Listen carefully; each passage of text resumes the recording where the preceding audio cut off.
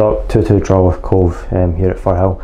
Um, how's everyone feeling after that? Uh, gutted. Um, should have had enough to see out the game. Uh, I think we had plenty of chances in the first half, one or two in the second half. Obviously, we got the, the goal and we should have enough to see out the game, so everyone's disappointed in that.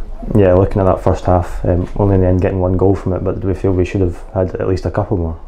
I, I think it was more the first half. Uh, we should have been clearer, um, but even that, if you're 2 0 up in this league, you should can have enough to see it out. I know there's good quality, they've got good quality in their team in certain areas, so we should be able to keep the ball a bit better, uh, a bit better sorry, and, and, and see the game out.